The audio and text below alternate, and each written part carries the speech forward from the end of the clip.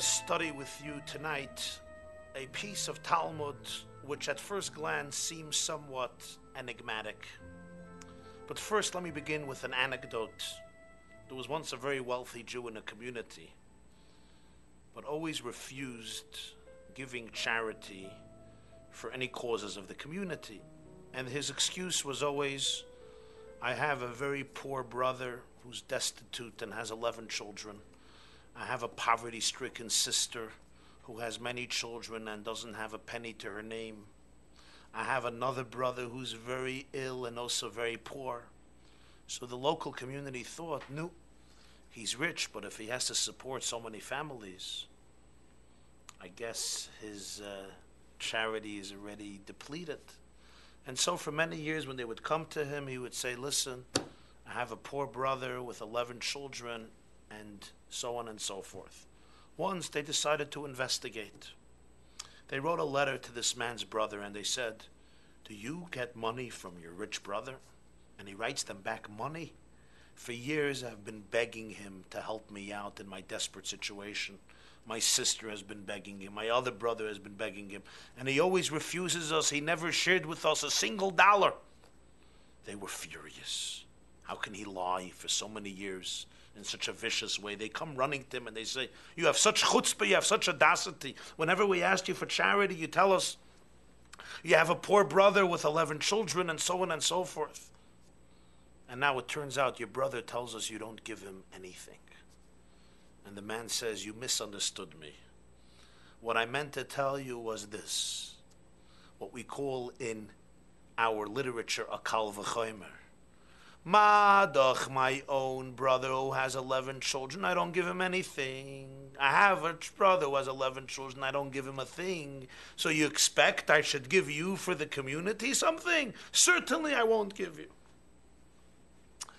This attitude of stinginess versus generosity is an issue we're going to be addressing this evening. The opening of the portion of Lech Lecha, God speaks to the person who would become the first Jew to undertake the first and most fateful journey of his life. Open up source number one. Vayomer Hashem al Avram, God tells Abraham, Lech lecha me artzecha, me me'ladetecha, me beisavicha, ela oretz asher areka, leave your land, your birthplace, the home of your father, go to the land which I will show you. I will make you into a great nation. I will bless you. I will make your name great. And you will be a blessing. The Talmud wants to understand what is the meaning of all these seemingly rep, uh, repetitions different promises that all seem very similar. I mean, first he says, I'll make you into a great nation. Then he says, I'll bless you. Then he says, I'll make your name great. Then he says, You'll become a blessing. You will be a blessing. It seems like a redundancy. Source number two says the Talmud in Tractate Psachim, Daf Kuf Yud Zayin Amid Beis. Psachim 117b. Omar Reb Shimon ben Lakish. Rabbi Shimon, the son of Lakish, one of the great Talmudic sages, said, when God promises Abraham, I will make you into a great nation, this is why we say in the opening of our Amida prayers, God is the God of Avram Avinu. We identify God as the God of Abraham. This is the fulfillment of the promise, I will make you into a great nation when God promises Abraham, I will bless you, This is why we identify God in the beginning of our prayers, the God of Yitzchak, the God of Isaac, the son of Abraham. God l'shmecha, I will make your name great, Zeu shayim Yaakov. This is a reference to the fact that in the opening of all of our prayers, we identify God as the God of Jacob, the God of Yaakov. So these are not just redundancies. These are all references to a fascinating fact in Jewish tradition. God is not only the God of Abraham and Isaac and Jacob, God was also the God of Adam, the God of Noach, the God of Moses, the God of Joseph, the God of David. Yet, in the opening of every Jewish Amida prayer, three times a day, We say, Baruch Atah Hashem, blessed are you, God. Elokeinu v'elokei Aviseinu, our God and the God of our fathers. And then we say, Elokei Avraham, Elokei Yitzchak, v'elokei Yaakov. The God of Abraham, the God of Isaac, the God of Jacob. Why these three names? Why do we identify God as being the God of these three people? What was their uniqueness? Says Reb Shimon ben Lakish in the Talmud, it's in the verse in the opening of Lech Lecha.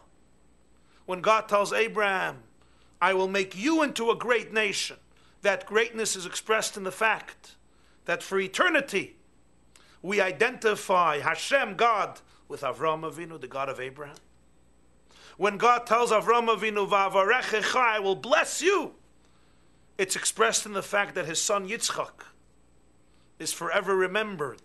And we always identify our God as being the God of Yitzchak, Yitzchak. That Yitzchak chose him as his God. And Va'agad Lashmecha, I will make your name great, is expressed in the fact that his grandson Yaakov is also chosen. To be associated with God, we call God the Elokei Yaakov, the God of Jacob. But then the Talmud continues, next paragraph in source number two. We might think that you should conclude the blessing, the opening blessing of the prayer, also with mentioning all of the patriarchs. Talmud Loimar. Therefore, the verse concludes, Veheye bracha, and you shall be a blessing. You will be a blessing, implying that b'chachaismin, with you, we will conclude the blessing. Ve'ein chaismin b'kulon. We will not conclude the blessing by mentioning the other patriarchs. So in the opening of the Amidah, in the opening of the blessing, we say, Elokei Avraham, Elokei Yitzchak, Elokei Yaakov. The God of Abraham, the God of Isaac, the God of Jacob. But at the end of the blessing, we say, Melech Oizer Mashiach Magid, the king who helps, who saves, who protects. Baruch Atah Hashem, blessed are you, God. Mogain Avraham, the shield, the protector of Avram. We don't say Mogain Yitzchak, Mogain Yaakov, the shield of Isaac, the shield of Jacob. Why not? In the beginning, we said he was the God of Abraham, Isaac, and Jacob. Why at the end is it Magin Avram, only the shield of Avram? So this is what the Talmud explains. That God tells Abraham, I will turn you into a great nation, I will bless you, I will make your name great. This refers to he and his son and his grandson. But then he continues, bracha, you shall become a blessing. You shall become a blessing. That at the end of the blessing, it's only you. We will only conceal and conclude the blessing with a mention of Avraham and not Yitzchak and Yaakov, only with Abraham, not with Isaac and Jacob. At first glance, it's very difficult to understand this piece of the Talmud. God is promising Abraham, don't worry. Don't think we're going to finish with everybody. When we conclude the blessing, it's B'chach it's only with you. What? Was Avraham Avinu, was Abraham afraid to share the spotlight with his son and with his grandson? Generally, a father is not afraid to share the spotlight with his own children or his grandchildren, especially a person like Avraham Avinu, our father Abraham, especially when it comes to his son Yitzchak, who he waited for for 100 years and begged and pleaded and beseeched and prayed to God to give him the son as his heir, as his future. Was Abraham hurt by the fact that in the opening of the blessing of every Amidah prayer, we include also the name of his son and his grandson, so God consoles him and says, Don't worry. When, at the when we come to the end of the blessing, the spotlight will be completely focused on you. The video will zoom in completely on you. It will exclude any mention of Yitzchak and Yaakov. What's the meaning of this? What's going on here? What's the nature of this promise? you might think that we'll conclude with everybody. No, don't worry. B'chachoisman only with you. I want to present to you tonight three interpretations, quoted in different sources. Each one, I believe, carries a very powerful and moving message and a very relevant message. The first interpretation is from the Hasidic master known as the Bnei Yissaschar by Rabbi Tzvi Elimelech of Dinov, one of the great masters. And he presents the following interpretation. It's known that each of the patriarchs represented a certain characteristic which would shape and define their descendants for generations. The Mishnah says in the opening of the ethics of our fathers, Pirkei Avot, Al Shlosha Chasadim. The world stands on three things: on the study of Torah, on service, sacrifice, and on charity, benevolence, sharing, kindness. Avraham Avinu, our first father, is the pillar of Gemilas Chasadim, the paradigm of philanthropy, of giving, of sharing. We have him in the Torah inviting guests over to his tent, feeding him with great kindness and generosity. Avram Avinu is the man who reaches out to the poor, who saves the oppressed, who goes to war to rescue victims. Avram Avinu is the paradigm for sharing, for giving, for philanthropy, for tzedakah, for charity in the Jewish world. Yitzchak, the second one of our patriarchs, represents avodah prayer, sacrifice. He was ready to sacrifice his entire life as an adult on the Moriah mountain. It was he who was ready to sacrifice himself. We have a reference to Yitzchak, our patriarch Isaac, involved in prayer, in meditation. By Yitzchak, Yitzchak represents the quality of service, of sacrifice, of submission. Yitzchak is the silent one among the patriarchs, the one who represents silent, deep commitment and surrender, complete self effacement. Yaakov is discussed as the studious one, the one who was involved in study. The Torah identifies him already as a child. Yaakov ishtam Yoshev Jacob was wholesome. He sat in the tents. Which tents? Our sages explain. Rashi quotes. He sat and he learnt. He was in yeshiva. V'soyrus some Yisrael. Jacob is associated with study. When he goes down to Egypt, he sends Yehuda, Lahiris Lefanov, to build a yeshiva. Jacob is immersed in study. Despite all of the events of his life, he's the paradigm of learning, of study, and of Torah. Throughout Jewish history, we connect to God through these three people, through these three characteristics, through Avram, through Yitzchak Yaakov. The Jew finds God in Avram. We look at God and we say God is the God of Abraham. And we say God is the God of Yitzchak. And God is the God of Jacob, of Yaakov. We find God in prayer. We find God in learning, in study. We find God. A Jew opens up a book of Torah and studies, and there he or she finds God. And we find God in love, in giving, in sharing, in philanthropy. So when we open up our prayer, who is God? Elokei Avraham, Elokei Yitzchak, Elokei Yaakov. We find God through the quality of giving represented by Avram. We find God through the quality of service and prayer and sacrifice represented by Yitzchak. And we find God through learning and study. Torah represented by Yaakov. Now the Talmud says, Yochel Yiyu Chaismin Bekulam. You might think that at the end at the conclusion. The conclusion of what? Not just the conclusion of the first blessing, the conclusion of exile. The last generations of Jews. As Jewish history comes closer to its climax, to the redemption through Mashiach, when we come to the closure, to the conclusion of the years of exile, lest you think then too, we will find God through Avram and Yitzchak and Yaakov, Elokei Avram, Elokei Yitzchak, Elokei Yaakov. The Jewish people will find God through all these qualities. Says the Talmud, God told Abraham, no. At the concluding generations of exile, before Mashiach comes, the Jewish people will say one thing Magin Avram, is the shield of Abraham. And let's understand this. In the time when the Talmud was written, it was inconceivable that there will be a generation of Jews that would not have the full imprint of Jacob's legacy, the legacy of study, of Yitzchak, Isaac's legacy, the legacy of prayer and sacrifice, and Abraham's legacy, the legacy of philanthropy, of giving. Jews throughout their history always had three paths and always found God in all three places. But we, generation before Mashiach, towards the end of exile, understands very well what the Talmud is saying. Suddenly, the last few hundred years, our nation has been devastated in so many ways. Not just through physical annihilation, but also through spiritual annihilation, through the powerful forces of assimilation that caused millions of Jews to disappear from the midst of our people, and it continues every single day.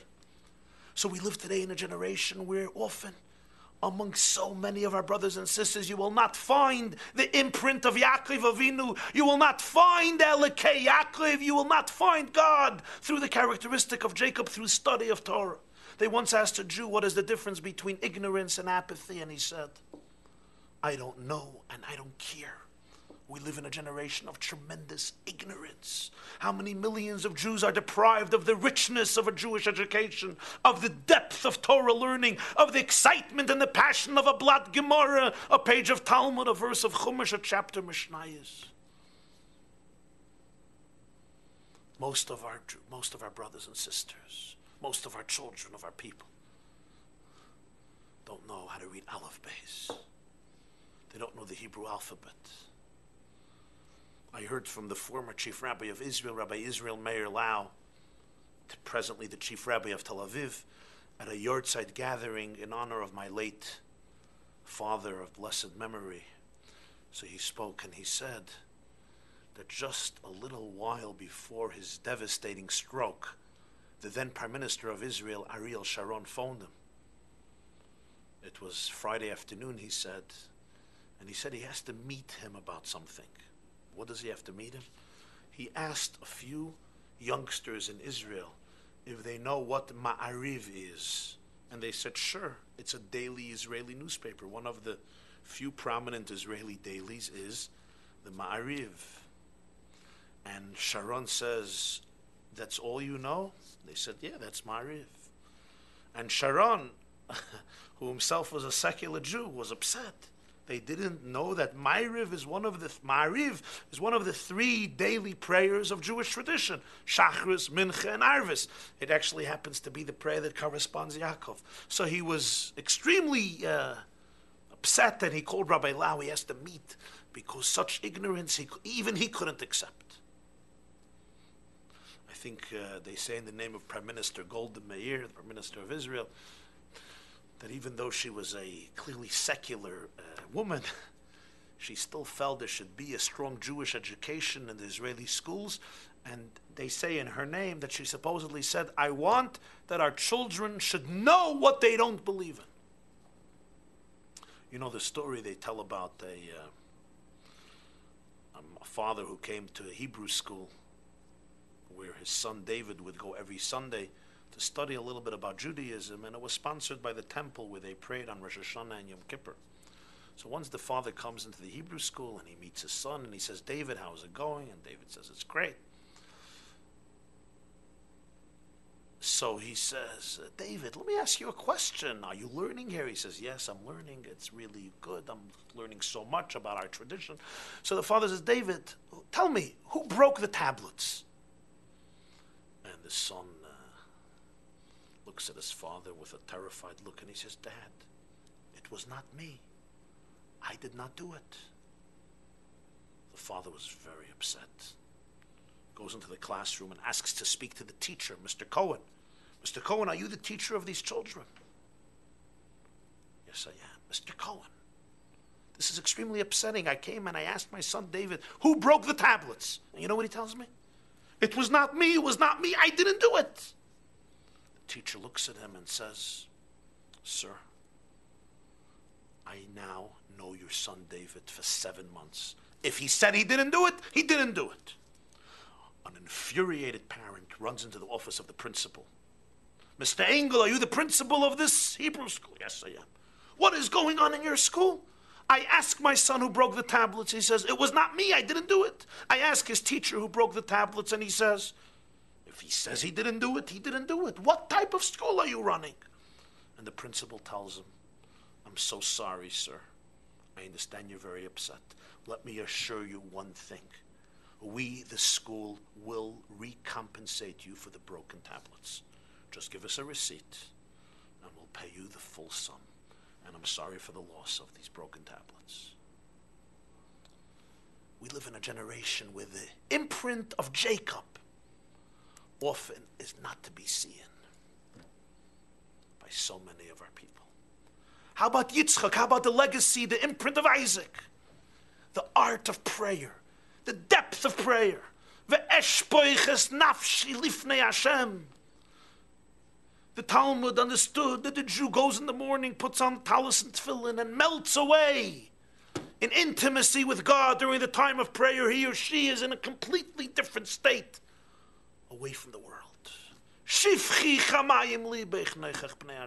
Pour out your heart like water in the presence of God. But in the concluding generations of Jewish history before Mashiach, often the depth, the beauty, the power of prayer is all but forgotten. In fact, the synagogue for millions is seen as a very boring and irrelevant place. You know the story? there was the president of a shul, the president of a synagogue, who would always sleep during davening, and of course during the rabbi's sermon, it's a mitzvah to sleep. so this rabbi would always get up to speak, and the president was sleeping. The gabbai, the person who was the assistant of the shul, who usually does not like the rabbi, nor does he like the president, comes to the rabbi one day and seeking to take revenge from the president says, Rabbi, you know, it's really disgusting what's going on. The president of your synagogue sits on top of the stage there and he sleeps through the entire sermon. And the rabbi says, Yes, I agree. It's a terrible chutzpah. What do we do? The rabbi says, With your permission, next Shabbos, you give me permission. I'm going to take a bat and I'm going to go over to the president and knock him over his head to teach him a lesson. And the rabbi says, Go ahead, it's a beautiful mitzvah and a very noble thing to do. And sure, next Shabbos comes around, the rabbi gets up to speak, the president is sleeping. The gabbai takes a bat, goes over to the president, boom, on his head. President, shaken up, looks up to the gabbai and says, Do it again, hit me again. The gabbai is stunned.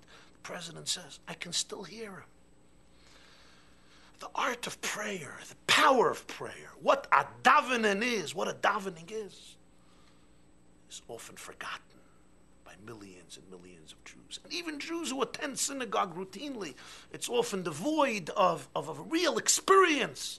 To say that prayer really touches them and changes them and transforms them, the imprint of Jacob is often very, very hard to find comes God and tells Avram, Veheye bracha.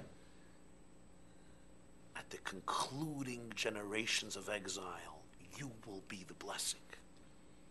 Your legacy, your imprint will never be forgotten. One thing assimilation did not destroy, and that's the characteristic of Abraham of Gemilas Chasadim. Jews, all types of Jews, are still extraordinary givers. They give and give and give. The IRS often can't believe Jewish tax returns as they ask, Who gives so much charity? Unprecedented the amount of tzedakah, the amount of charity that Jews give. Yes, sometimes the causes they give for are questionable. Sometimes one wonders, couldn't they choose better causes? But about this already, the Jerusalem Talmud expressed itself about our people. They said, What an interesting people. When they had to build a golden calf, they gave and gave and gave. And then a few months later, when they had to build a sanctuary, they gave and gave and gave. Obsessed with giving. It wasn't even so much for what, it was the fact that they voluntarily gave. The golden calf was created through contributions, and the sanctuary was created through contributions by the same people. Giving is inherent to the Jewish psyche, it's a Jewish character. And we see a fascinating thing. Millions of Jews divorced from the world of Jacob, divorced from the world of Torah, divorced from the world of Yitzchak, of Isaac, separated from the world of prayer. But Avraham Avinu's characteristic, the characteristic of charity, of caring, of giving, of donating, of contributing. This has not declined. This has not been lost. This was never assimilated. Even Jews who are sometimes estranged from any element of faith and belief and tradition. But they are powerful defenders of charity, of human rights, of the need to share and give and uplift the oppressed and save the poverty stricken and help widows and orphans and those who are ill and in a difficult situation. This then, the Bnei Yissaschar says, is the deeper meaning. God says, usually I'm identified through Abraham, Isaac, and Jacob, but at the last generation, it's going to be Magen Avraham. You'll still see God in the Jewish people by every Jew through Abraham. And that I will always remember. Magen Avram, you could find God in every Jew, maybe not always through Torah and prayer, but in his or her passion for kindness, for giving, which is, which is unique, which is extraordinary. And it's true that Torah and prayer only enhance the quality of giving and accentuate it, but nonetheless, this element has not been affected even by assimilation. The facts speak for themselves, you can research them. And that's the meaning why that's the meaning of the fact that the blessing concludes Magen Avraham. God is the protector, the shield of Abraham. What this is actually saying is, I will protect the quality of Abraham. I will not allow the forces of assimilation. I will not allow the forces of intermarriage. I will not allow the forces that have estranged millions and millions and millions of Jews from their roots to estrange them from their first father, from Abraham. That passion, that quality they will never lose. But they may not know how to read the alphabets. They may not know how to open a siddur.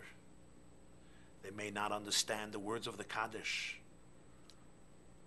But they will have a passion for justice and for charity. Many of us may not look like Jews anymore. Many of us don't think like Jews anymore. Many of us don't speak like Jews anymore. Many of us don't appear like Jews anymore but we still give as Jews. Second interpretation the three patriarchs also represent three spiritual qualities. We know that the first three emotions of the Sephirotic tree are Chesed, Gevura, Tiferes. Avram Avinu, Abraham, represents the quality of Chesed, of love, Gemilus Chasadim, of kindness. Yitzchak represents the quality of Gevura, of strength, of discipline as we spoke, self effacement, self discipline, self sacrifice. Yaakov represents midas ha'emes, the quality of truth. Titain emes liYaakov chesed la'Avram. The prophet says in Micah, give truth to Jacob and kindness to Abraham. Jacob represents the quality of emes, which is Torah, Torah story, which is the paradigm of emes, of truth. Absolute truths, not moral relativism. Throughout history, there are three paths to connect to God. We connect to God through Avraham, through kindness, through love.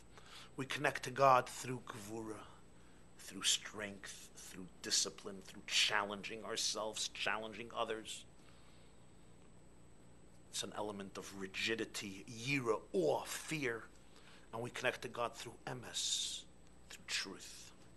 Yachel yu chaismin bekulon, says the Talmud.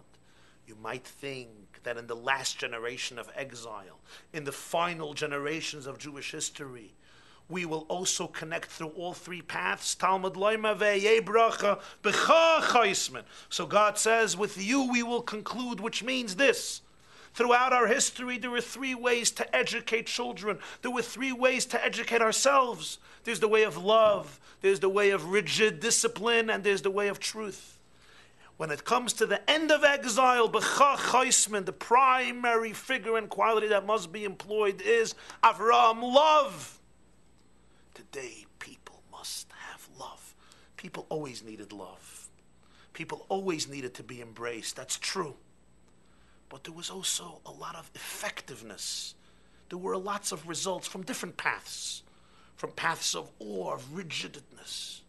Today, as history comes to a climax before Mashiach comes, the primary quality that has to be used in education, in relationships, in outreach, in, in, in reach is Avram Avinu, is to love people, to give them love, to really love them, to show them love. I remember a great moment, I, a story I heard. I was once lecturing in California at a Shabbaton and I met there a very effective and talented principal was really running a very nice school, from what I saw. And I asked him what were the foundational principles of his work.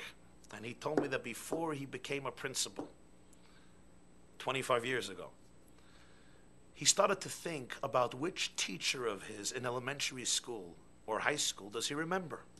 Remember in a very positive way. And there was only one teacher that he really cherished till that day. It was his third grade teacher, and he didn't know why. So he called up his third grade teacher decades after he left his class, and he said, You know, Rebbe, my teacher, I still love you, and I don't know why.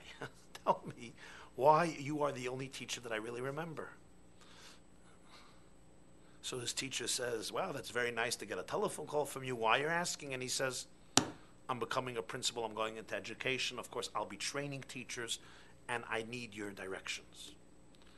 He says, My direction is very simple. Tell every single one of your teachers that you must love every single student in your classroom. And if there's one student who begs for hate, if there's one student who drives you mad, is the student that causes you to come home in the evening with a headache every night. That student you must love doubly. So the principal says to me, I asked my third grade teacher, why doubly? Let me love him as much as the other students. And he says, No, you must love him the double portion of love because last year's teacher hated him. Mogen Avraham, the shield of Abraham, the shield of love. Today, it's love that reaches people, that touches people. You must really love them and care for them and show them that you care for them. That's how you'll open their hearts and reach their minds and touch their souls. Concerning yourself, concerning your spouse, concerning your friends, your community, your children, your students, your disciples, and pupils in all forms. And then there's the third interpretation that the closing generation will be with Avraham and not with Yitzchak and Yaakov one major phenomenon divides Abraham from his child and grandchild, and that is Isaac grew up in a Jewish home. Not just in a Jewish home, he grew up in the home of Avram and Sarah, of Abraham and Sarah. He grew up in a home of holiness, in a home of spiritual passion, in a home of moral justice and unwavering commitment. How about Yaakov Avinu? Jacob grew up in the house of Yitzchak, of Rivka holiest people of a generation. Until 15 years old, he was also with Avram Avinu, with his grandfather. So Yitzchak and Yaakov both had an education which was permeated and saturated with the value systems of ethical monotheism. But not so Avram Avinu. Avram Avinu grew up in the home of Terach. Terach was a pagan idol worshiper. In fact, Terach had a business of selling statues, which Avram Avinu as a child destroyed and crushed, and because of that was almost executed. Terach was a man who was entrenched in the paganism of his time, a paganism which did not believe in one God, did not believe in the unity of the world, the unity of humanity, a paganism that didn't believe in morality and ethics, a paganism which allowed for the slaughter of children and cannibalism. Avram Avinu grew up in a house that was antithetical to the moral foundations and grandeur of Torah, and he had to discover himself. He had to reinvent himself. Avram Avinu hikir his boyroi. Avram had to recognize his creator. He had no tutor, he had no father, he had no mother, mentor, educator, environment, school who would teach these truths to him. He had to find these truths with his own mind, and he had to find these truths with his own heart first Baal Tshuva, the first person to return without an education. He himself searched and searched until he found and discovered. Throughout Jewish history, we have three types of Jews. You could find God, Elokei Avram, Elokei Yitzchak, Elokei Yaakov. You could find God through Abraham. People who came to God through their own search. Elokei Yitzchak, Others had a father who taught them, a mother who taught them, and Elokei Yaakov. Others had only not only had parents, they had Zaydis and Babas. They had grandparents, sometimes for many generations, who saturated the home and the community and the atmosphere with Yiddishkeit, with a sense of Judaism. But then we come to the last generations of exile. Here God says it's going to be Magen Avram. Here, the primary path to God will be Abraham. Suddenly, now we live in a generation where millions and millions of our brothers and sisters did not grow up in a home of Torah, did not grow up, grow up in a home of the three pillars of Judaism Ahavas Hashem, Ahavas HaTorah, Ahavas Yisrael, the love of God, the love of Torah, the love of Israel. We spoke about tzedakah, charity, but the systems of Judaism, the ideas of Yiddishkeit, the values, the moral system, the Torah, the mitzvahs, they didn't grow up with it. They didn't see it. They didn't experience it.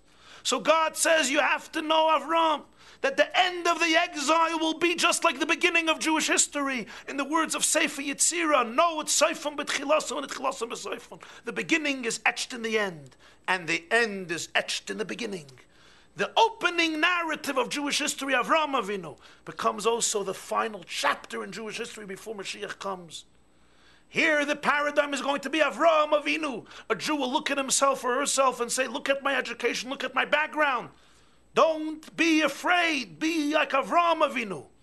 If you search, you will be able to discover your own God, just like Abraham discovered his.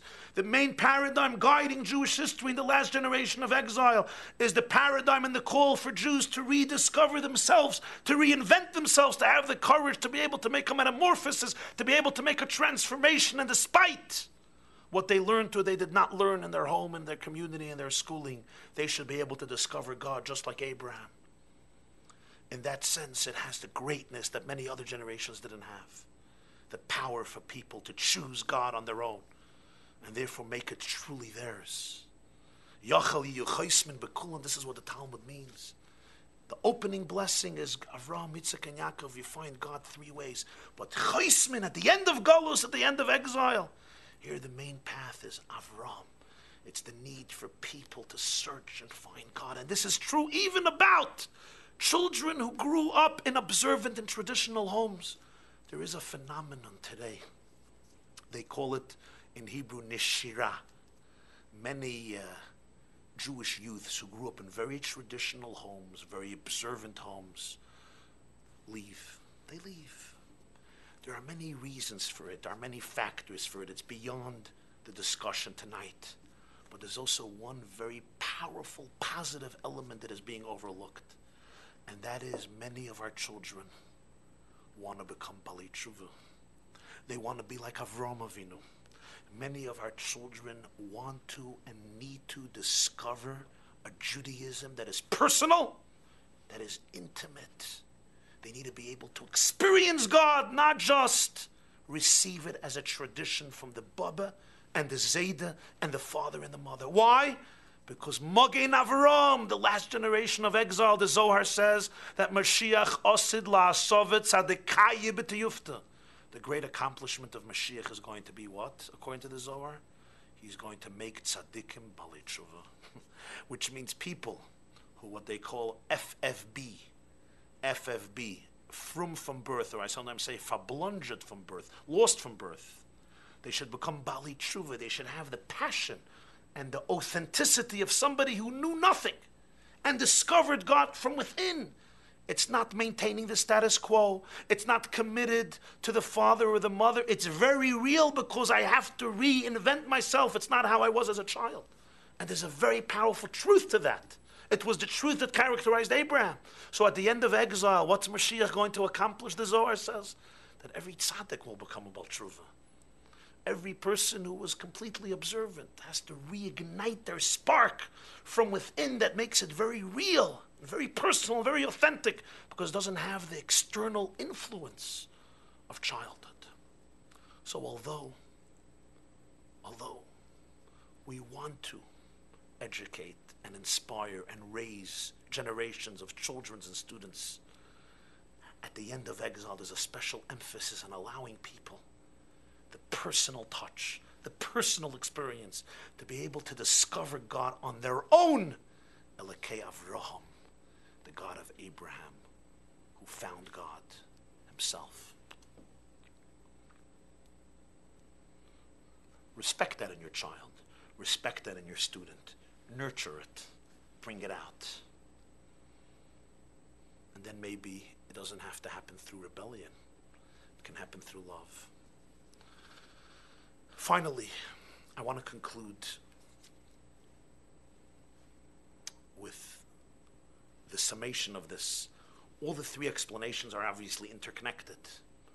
The point is, it's the quality of Abraham that does not cease even with the winds of assimilation.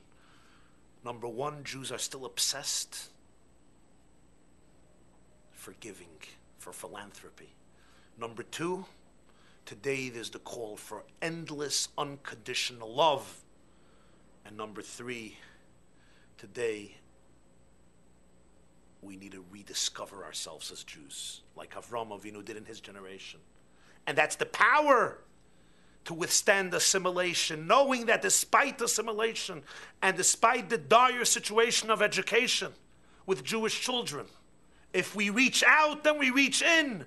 We can allow Jews to rediscover their deepest souls. And finally, 20 years ago, uh, 20, a little more than 20 years ago, the Lubavitcher Rebbe came out with a call. And I want to share that call with you today.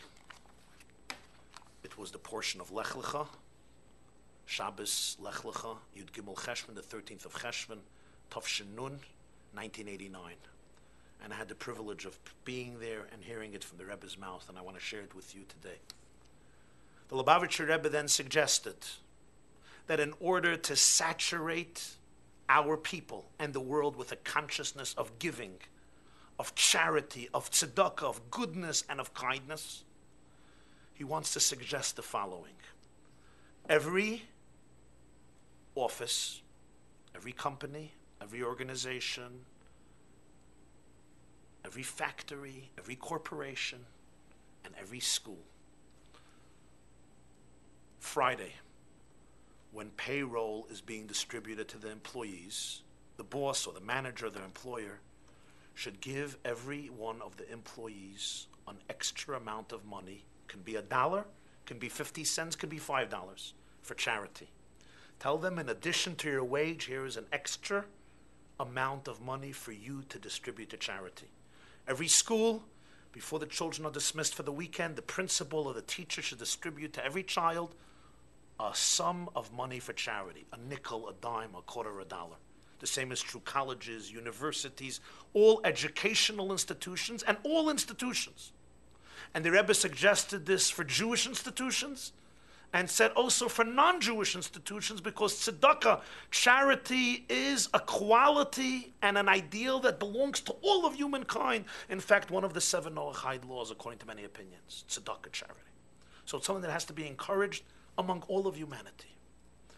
Imagine the impact of this on employees, on children, on students.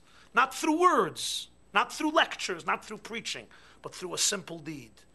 Every weekend, you give the child an extra amount of money just to give for charity. Every employee gets a little bit extra just to give for charity, whenever payroll is, whether once a week or once in two weeks and so forth. Imagine the consciousness this can create a consciousness of giving and charity, and how many acts of charity will be performed if this is instituted? How many acts of tzedakah will be performed if every person who has a job in their office or company gets this extra sum of money to give for charity? This suggestion of the Rebbe, the Lubavitcher Rebbe, I heard from him, as I said, in 89. And tonight, I want to bring it to your attention make a request of you and a suggestion to you that you and us should begin implementing this. As you know, it's very simple. Everybody can do it in their office, in their classroom, in their corner. And speak to your friends and your employees about it to encourage others.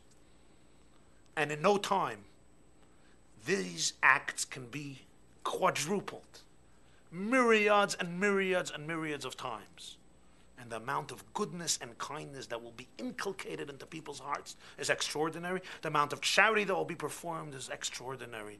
And the world will be saturated with the quality of Avraham in the conclusion of exile, the quality of giving, of philanthropy, of goodness and kindness.